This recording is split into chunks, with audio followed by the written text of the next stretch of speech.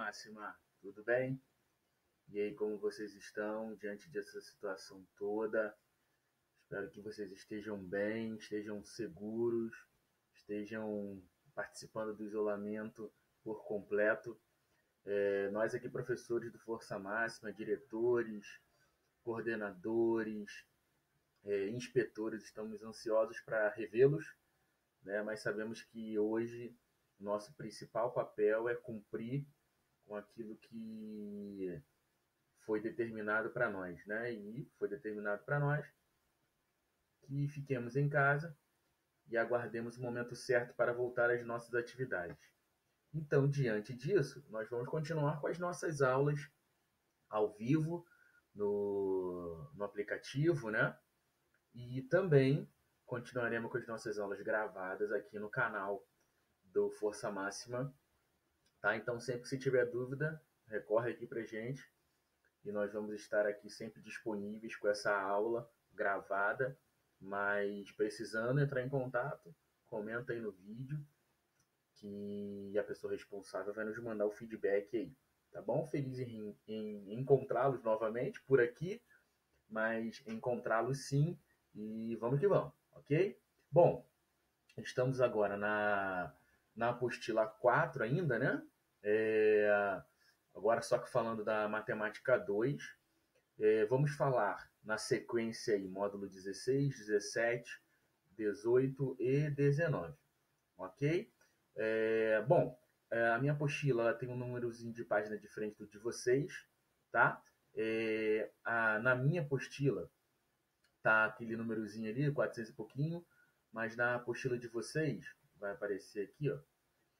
A página é 699. Então nós vamos estudar da 699 até a 702. OK? Bom, é... o que, que nós vamos falar nesse módulo 16? Nós vamos entrar para falar de geometria espacial. Né? Nós vamos entender aí essa geometria das dimensões, né, de que a gente chama também de terceira dimensão, né? terceira, quarta, quinta dimensão, e a gente vê, observamos isso aí na nossa vida rotineira. Nós vamos entender o que são esses poliedros, né? que são essas figuras espaciais aí, como essa construçãozinha aqui, ó, tá vendo? São várias junções de outros polígonos dentro de um polígono só. Então são vários polígonos juntos, unificados pelos seus vértices e lados, que formam um novo polígono, né? Um, uma nova figura geométrica. E essa figura geométrica será chamada de poliedro. Ok? Tá bom, galera? Bom, vamos entender um pouco o que, que significa isso. Vou ler, é, nesse módulo eu vou ler bastante, né? E vou marcar bastante informação é, que está exposta no nosso próprio material. Então, depois, se você quiser, pega a sua apostila, acompanha comigo aí e vai marcando comigo para que você possa fazer aí é, o caminho né, para esse conhecimento. Tá bom? Bom, vamos lá. É, você sabia que existem impressoras capazes de imprimir objetos? É a famosa impressora 3D, né, galera? Então, imprimir objeto nas impressoras 3D atuais é, se tornou um processo bastante simples. Então, assim, eles imprimem várias coisas né, para poder fazer molde ou até mesmo para utilização rotineira. Então, você desenha ele num computador manda para essa impressora e, e aí essa impressora faz o objeto que foi determinado em 3D, né? quer dizer, no formato original. Vamos pensar assim. Tá? É, consiste em desenhá-lo em um aplicativo de modelagem, como o CAD, também a gente chama de AutoCAD, tá? Então mandá-lo direto para a impressora. A impressora imprime finas camadas de polímero, que são sobrepostas com auxílio de cartucho especial de cola, óbvio, né? E cortados em lugares específicos mediante o desenho que você fez, né? Conferindo-se a forma final, ok? Para modelar o que se deseja, começamos pela estrutura básica, que pode ser, pode ser de várias formas. Pirâmide, esfera, cubos e etc. Depois, aos poucos, inserimos seus detalhes. Então, aos poucos, os detalhes vão sendo inseridos mediante aquela informação. Você vê muito isso nos filmes de ação, né? Aqueles filmes mentirosos lá do Tom Cruise e, e muitos outros filmes, né? Bom, nesse módulo nós vamos entender esses sólidos, ok? Bom, vamos lá, vamos começar. Estruturas tridimensionais, quer dizer, a terceira tem três dimensões. Que dimensões são essas, Timóteo? Vamos lá, vamos começar aqui. Que dimensões são essas? Hum... Vamos ver ali. Hoje o sistema está um pouquinho lento. Pode ser que trave um pouquinho durante a aula, tá? Mas isso não vai impedir, não. Que dimensões são essas, gente? O comprimento, a largura e a profundidade, ok? é, dimensões tá? do 3D. O comprimento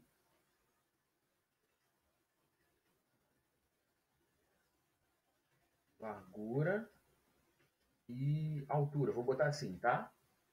Alguns chamam também essa largura de profundidade, tá bom? Pode ser também. Quando você compra alguns objetos, botar aqui. Profundidade. Tá bom? Ah, pode ser assim, ok? Essas são as principais é, dimensões conhecidas, né? Que nós utilizamos aí nas nossas figuras. Quando você vai comprar um celular, quando você vai comprar um armário, quando você vai comprar qualquer outro objeto, no caso a gente vai falar aqui das nossas figuras, é, você, a gente vai observar que ela tem lá na descrição do objeto essas dimensões, ok?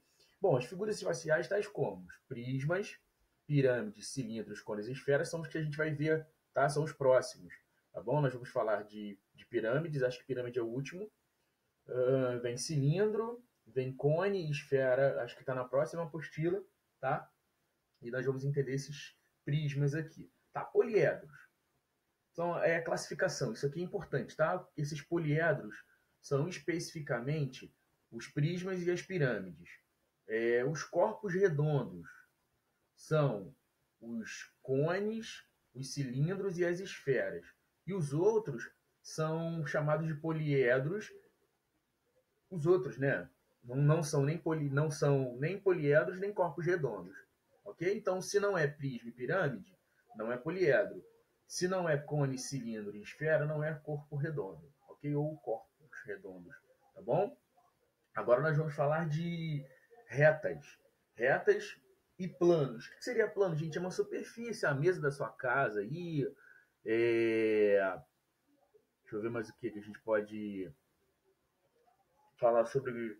Ah, o celular. O celular é um plano, né? O celular tá mais para uma figura tridimensional, mas pode ser um plano, a TV da sua casa, a porta do armário, o, a parte de cima do colchão, né? Então, isso aí são, são planos, são superfícies, ok?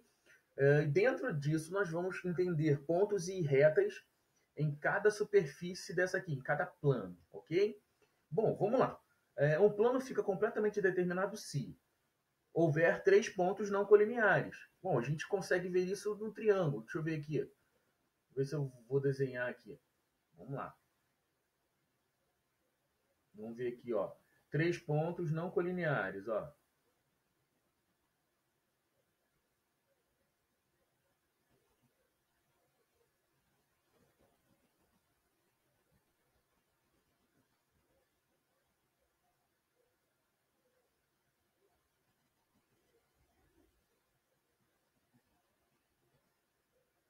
É, hoje está um pouquinho difícil. ver o que eu consigo fazer fora. Vamos ver se ele aceita fora aqui. Depois eu junto, tá bom? Vamos ver. Vamos lá juntar.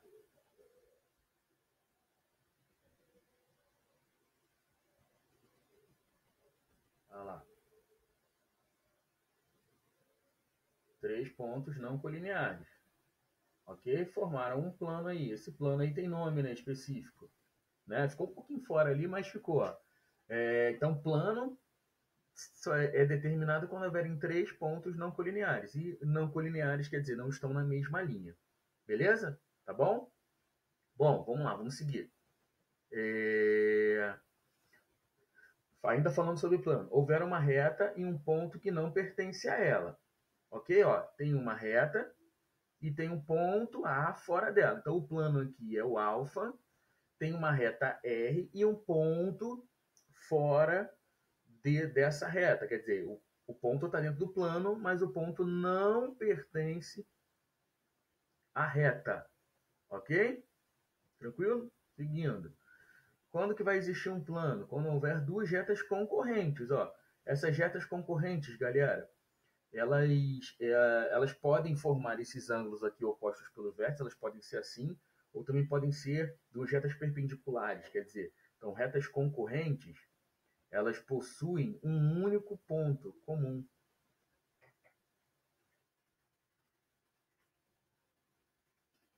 Possuem opa, um único ponto comum. Ok? Seria isso. Depois a gente fala dos outros. Beleza? Então, seguindo. Vamos lá. Houver duas retas distintas. Então, existe plano quando tem três pontos não colineares, quando houver uma reta em um ponto que não pertence a ela, duas retas concorrentes, e quando houverem duas retas distintas. No caso aqui, ó, essas duas retas são retas paralelas ok? Retas paralelas não possuem ponto comum, então nunca vão se encontrar, ok? Bom, agora posições relativas entre duas retas. Agora nós vamos caracterizar um pouco mais isso aqui. Bom, duas retas dentro do plano. Elas são concorrentes. Possuem um único ponto comum, é o ponto P. Tá vendo? É como se fosse assim, gente, pensa. Duas operadoras que vendem, que vendem planos de celular, ok? Só vendem isso. Então elas são concorrentes em um único ponto. Se uma operadora resolve vender é, planos fixos de telefonia fixa, então elas deixam de ser concorrentes em tudo e passam a ser concorrentes em somente um único ponto. Então isso caracteriza concorrência, quer dizer, é um produto sendo comercializado, um único produto sendo comparado e comercializado, ok? Aí ele bota aqui, ó, reta R está contida no plano alfa e a reta t está contida no plano alfa. A interseção de RT é chamado de ponto P. É esse que está escrito aqui, ó, nessa analogia aqui lateral. Ok? Retas paralelas. Elas não possuem ponto comum. Então, reta, está, reta R está contida em alfa, a reta T está contida em alfa. A interseção entre elas é o conjunto vazio, quer dizer, não existente. Ok? Uh, vamos ver. É, é, retas coincidentes. É, o que, que, são essas retas coincidentes? Quando uma está sobre a outra, quer dizer, é, vamos pensar assim, tá? Essa, essa situação aqui, ó, retas coincidentes.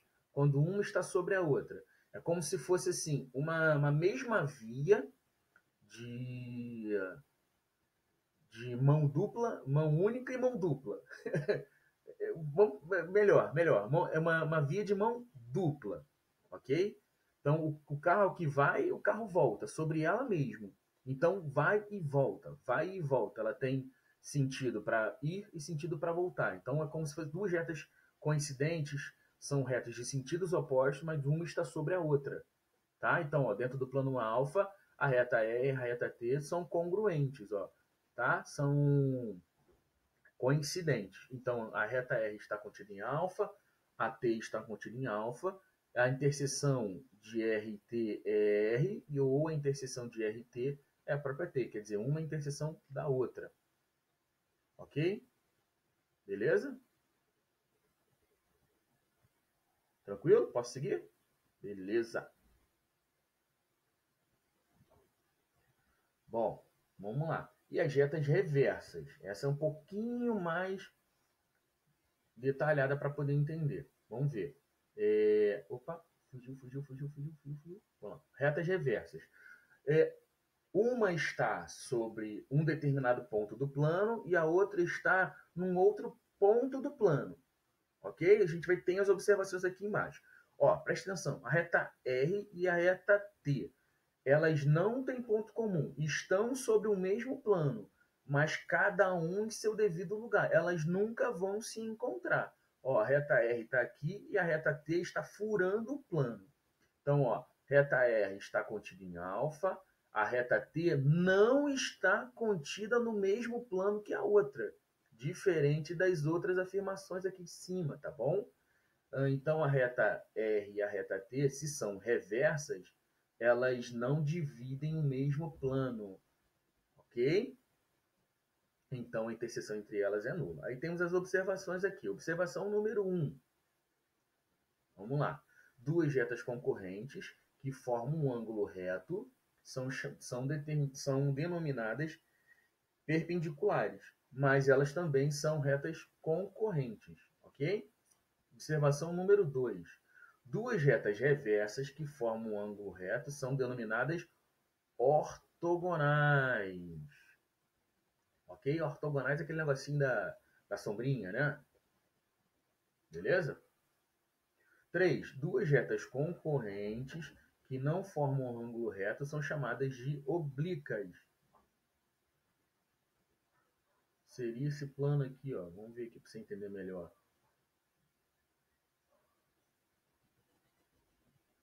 Não, foi isso que eu pedi. Isso aqui.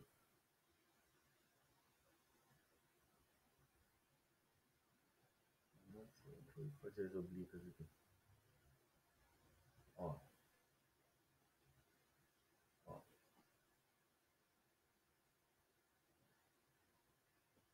tá indo. Vamos, vamos, vamos insistir, vamos insistir. Ó. Elas são concorrentes, tá vendo? Mas não formam um ângulo de 90 graus. Tá vendo? Seria isso aí, ó. Mais ou menos isso aí. Ok? Bom, vamos lá. É, algumas visões importantes aí. É, dado o paralelepípedo retângulo a seguir, as retas RST e U tem-se que Vamos lá. RS. RS estão lá em cima, tá? Ó, R e S está aqui, ó.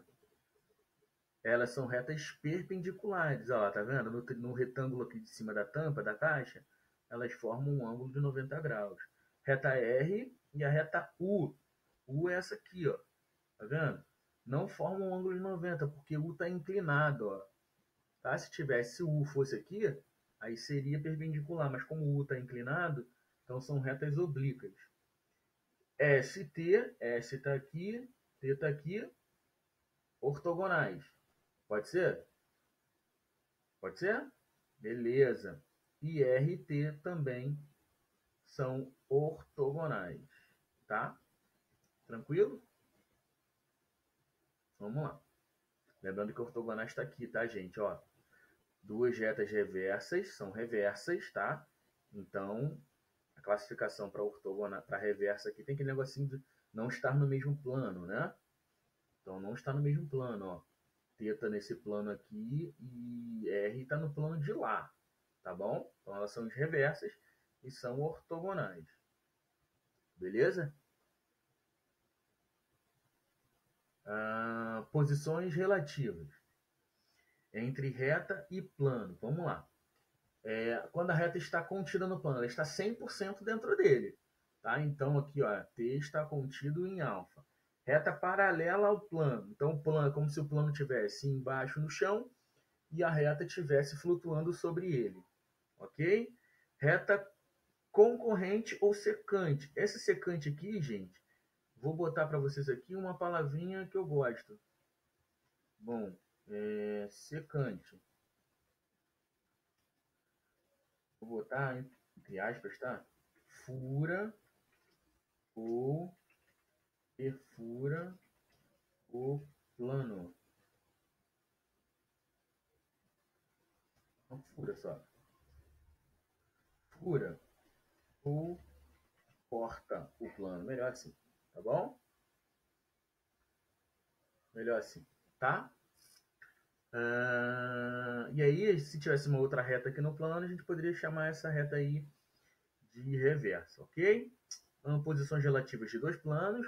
Os planos são secantes, está vendo? O plano beta, ele fura o plano alfa. E lá tem uma reta que passa por beta e alfa, a reta T. Ok? Então, a interseção do plano alfa com o plano beta é a reta T. Planos paralelos, como se fosse o teto e o chão da sua casa aí, Tá? São dois planos que não se vão se tocar nunca, a menos que o teto caia ou o chão caia sobre o teto. Ok? E planos coincidentes é como, como quando um está sobre o outro, tá bom? A interseção entre eles é o outro, né? Então aqui a interseção entre os planos paralelos é nula e a interseção entre os planos secantes é a reta que passa no corte deles. Ok? Vamos de fato lá aos poliedros sem perder muito tempo. Tá bom? Vamos seguir aí. Bom, poliedro. Um poliedro sólido formado por reuniões de números finitos de polígonos não coplanares que obedecem às seguintes condições. Isso aqui é importante, tá, galera? Então vou marcar. Cada lado de um polígono é, tem de ser lado apenas de um outro polígono. Hum, beleza. A interseção de dois desses polígonos ou é um lado comum, ou é um ponto, ou é vazia. Beleza? O deslocamento para a superfície poliédrica ocorre sem passar obrigatoriamente pelo vértice. Bom, isso é verdade. O deslocamento da superfície, ele pode vir pelo meio aqui, ó, pela meiuca aqui, ó, tá? Beleza? Pode vir pela meiuca aqui e não necessariamente aí passando pelo vértice. OK? Uh, esse é o poliedro e sólido que não é considerado um poliedro, tá vendo? A junção de dois outros poliedros mas cada um na sua, quer dizer, eles não se unificam, como se fosse isso, tá?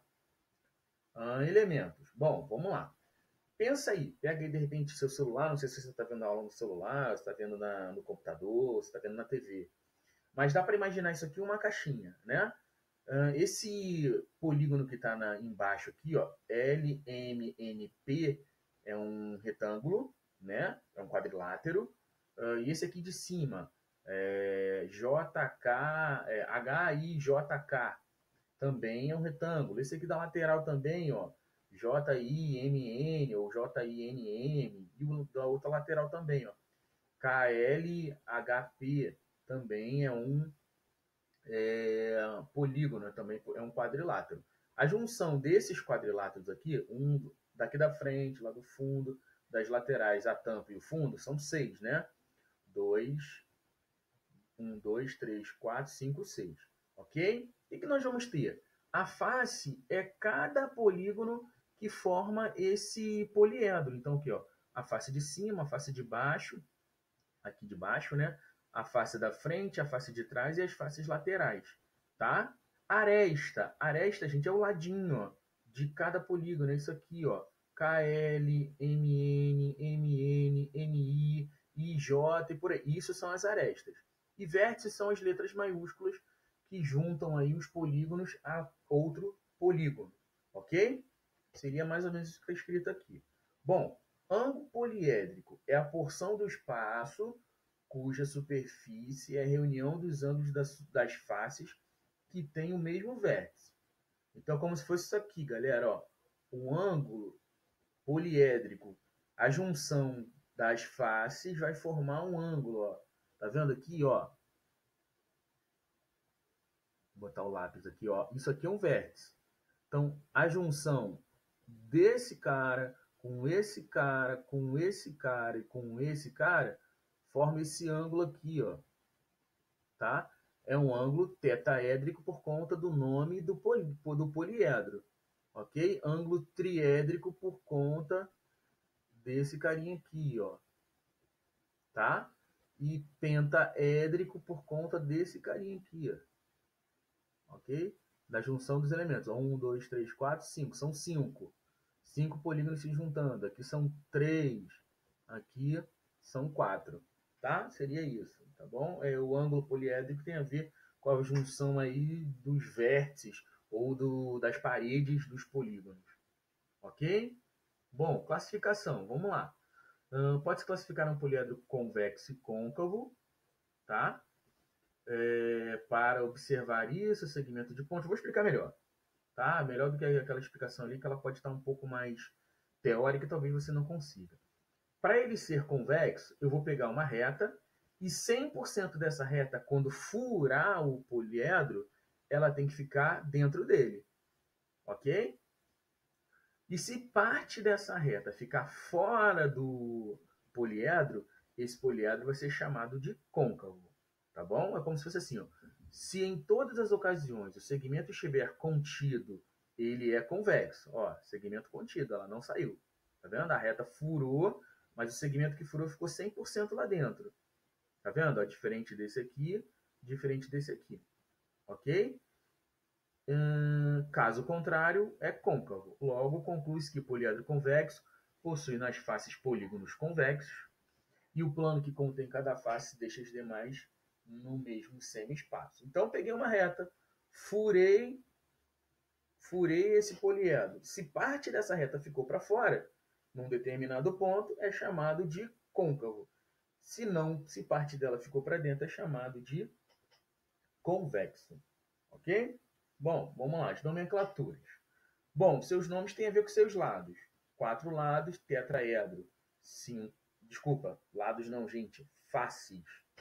Quantas faces ele tiver? Eu confundi lá com os polígonos regulares, né? Enfim, vamos lá. É...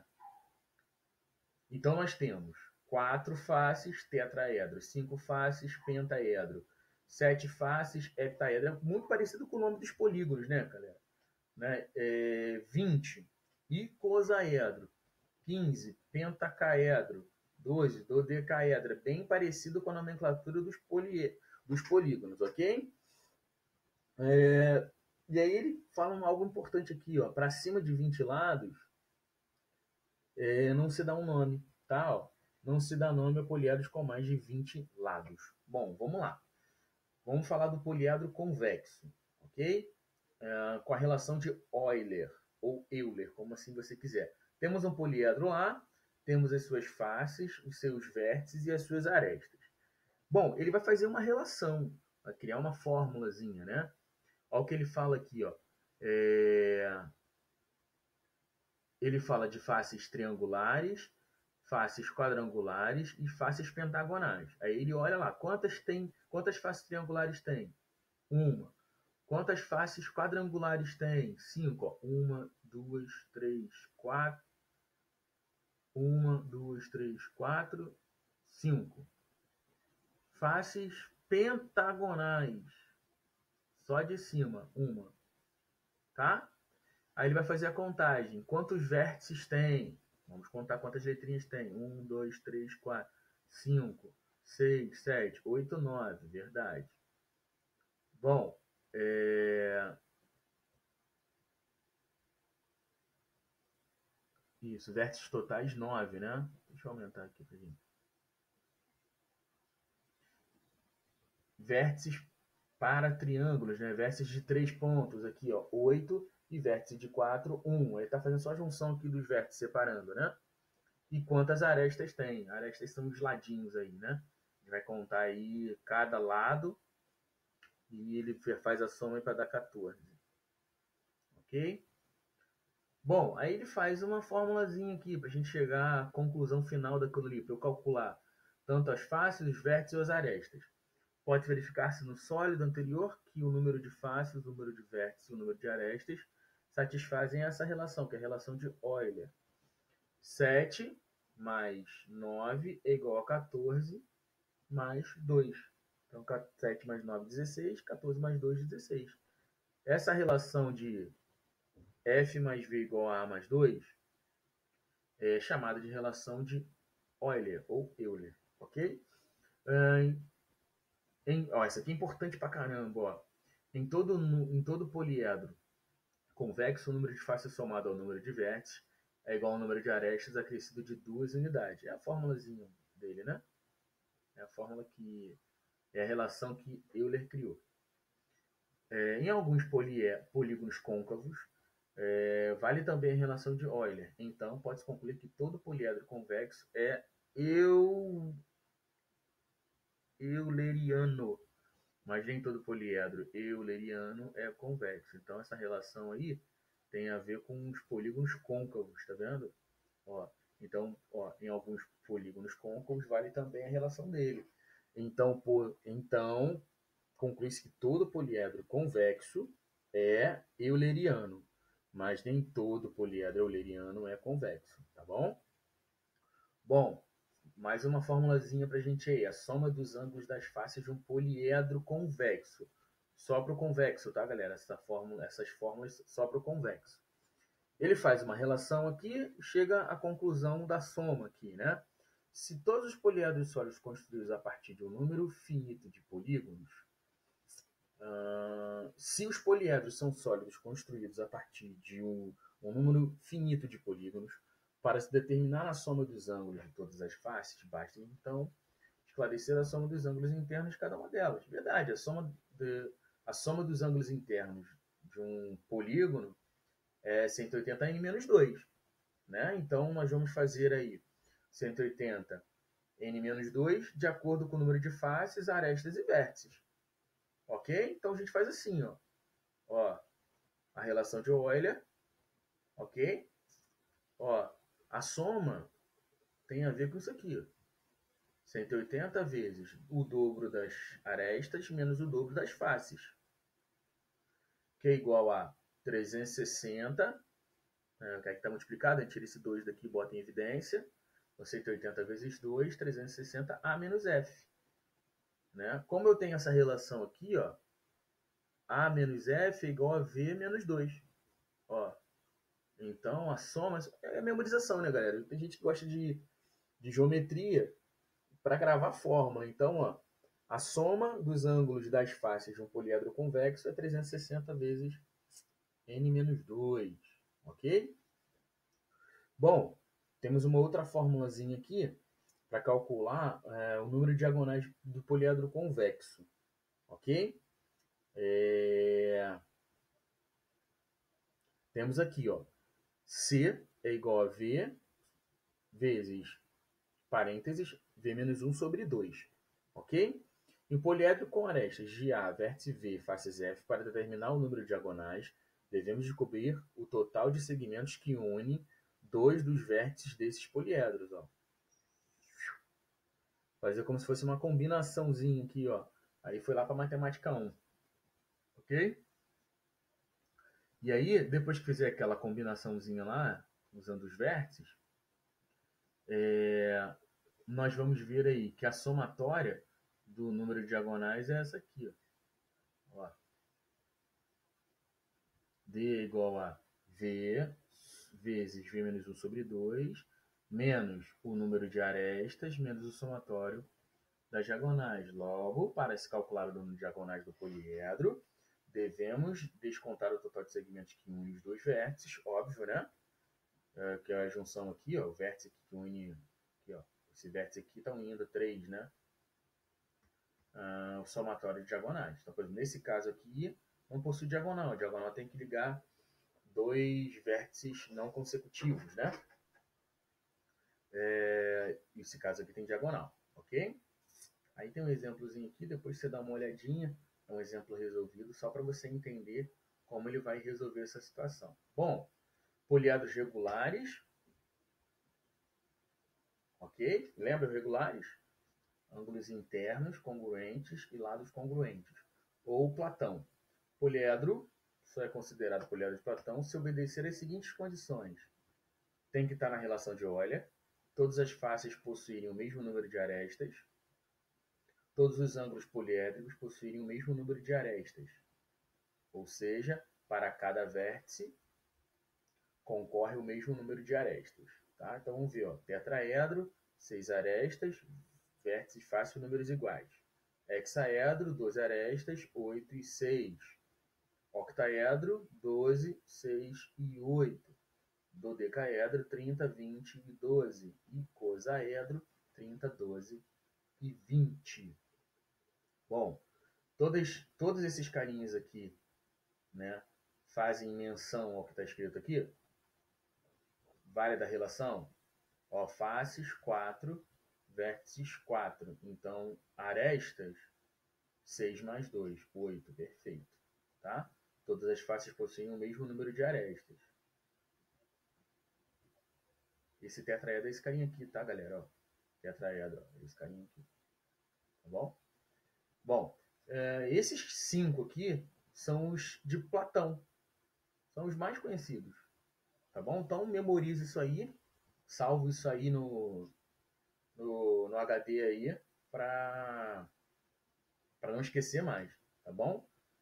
os poliedros padrões que exercem essas funções aqui de regulares e de Platão são esses carinhas aqui, o tetaedro, o hexaedro, octaedro, dodecaedro e cosaedro. Tá bom? 4, 6, 8, 12, 20. 4, 6, 8, 12, 20. Tá vendo? De acordo com o número de faces. Tá bom? Bom, é, para encerrar aí, na nossa visualização, nós vamos conseguir é, observar os regulares. Ó, o tetraedro regular, hexaedro regular, octaedro regular, dodecaedro regular, possui 12 faces, e o icosaedro regular, 20 faces. 6 faces, aqui é o cubinho, tá? O cubinho mágico. Octaedro regular seria é uma pirâmide de base quadrangular. Vamos ver isso mais à frente. Esse aqui também é como se fosse uma pirâmidezinha, mas é uma pirâmide de base triangular. Vamos ver pirâmide no, nos próximos nos capítulos à frente aí, tá bom? Ó, a bola de futebol. Ó. A bola de futebol também é um é um carinha aí que a gente pode falar da história dos poliedros. Ó. O futebol foi criado na Inglaterra no século X, um X19, né? Ah, apesar de especialistas afirmarem que na China e no Japão já se praticava algo muito parecido há dois mil anos, as primeiras bolas que se tem registro eram de couro, mas com placas costuradas, sem muita preocupação com a estética ou visibilidade técnica. Já na metade do século XX, a primeira bola criada depois de estudos técnicos era semelhante à da foto abaixo. Tá vendo a junção aí dos polígonos? Tá vendo? A bola, as bolas passaram a ser formadas por 32 gomos, é, estrategicamente hexagonais e pentagonais, dá para ver. Ó. Pentagonais e hexagonais. Tá bom? Bom, espero que vocês tenham gostado da aula aí. Não esqueçam de fazer os exercícios mediante o conteúdo básico, tá? O conteúdo aqui prático. E a gente se vê na próxima aula. Valeu, galera. Forte abraço.